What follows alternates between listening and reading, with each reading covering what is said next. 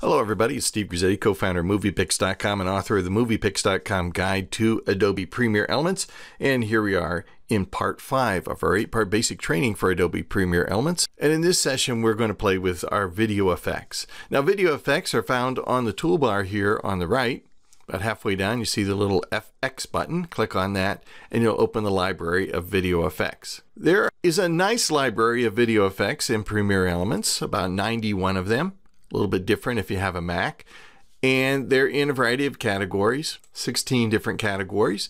And you can go directly to an effect by selecting a category, or you can just leave it at Show All and click on the little magnifying glass here in the upper right hand corner and you can type any effect, say for instance crop, and in real time the program will search and find that particular effect for you.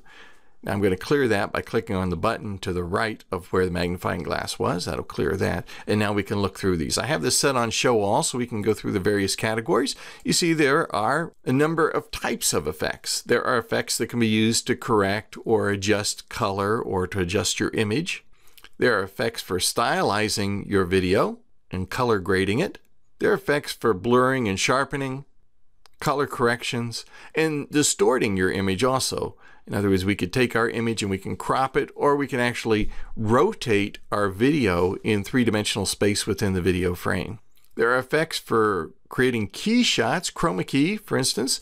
These are shots in which we would remove a green or blue background and replace it with a different background and create some really cool special effects. The keying effects are very effective for doing that, but so is Video Merge, which is exclusive to Premiere Elements and it's available on both the Macintosh and the Windows platform.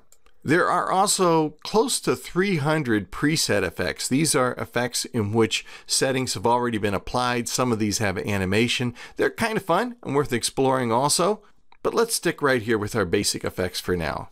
If we go to the image control category, we can control the, for instance, color or vibrancy in our picture. So we've got a picture here, this little girl sitting on a porch, and we can apply the black and white effect to that and suddenly she's a black and white picture. Let's Control Z or Command Z to undo that. Black and white, these this is one of the few effects that you can't make an adjustment to. So you can see when I applied it and the applied effects panel opened up, there were no adjustment controls here for black and white. It's either on or off. We can keyframe it, we can make it go from black and white to color.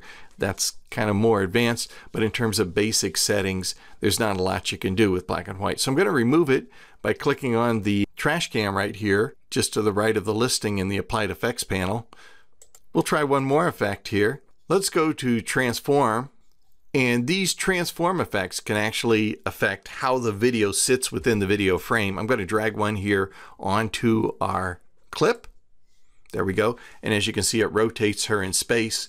We have a number of controls over here for changing how that effect is applied. So we can actually rotate her or change the angle of the photo by moving these little sliders. You can also drag right across the numbers just clicking and dragging across the numbers there. The Applied Effects panel opens automatically when you apply a video effect, but if it's closed, all you need to do is select the clip on the timeline and click on the FX with a little pencil on it here on the right on the toolbar, and that will reopen the Applied Effects panel. You must have the clip selected though. And using keyframes, which we'll talk about a little bit later in the course, we could actually make this motion happen as an animation and actually have her spinning in space if we'd like. Let me show you one more effect. I'm just going to delete that by clicking on the trash can. Go back over here to effects and let's select the crop effect, which is also in transform. Drag that. Now, I just want to show you crop because not only are there controls here on the applied effects panel, but if you select crop, the listing here in applied effects, look at what happens. We get little control handles right here on the monitor panel. So I'm making my adjustments by actually dragging on those corner handles. That's a little more intuitive. You can see the adjustments are reflected here on the Applied Effects panel as I make my adjustments. But there's more than one way to make adjustments to an effect. We'll go back to the effects panel here, and there are audio effects as well as video effects. These are a whole different course. But nine very nice audio effects for enhancing your audio as well as your video. Video effects are a lot of fun. It's up to you how intensely you use them. Sometimes some effects are best when they're so subtle people don't even know an effect has been applied. Sometimes they're a lot of fun to be showy also. But a nice library of 91 video and close to 300 presets for enhancing the video in your movie and uh, either making it look better or making it look absolutely weird. Choice is yours.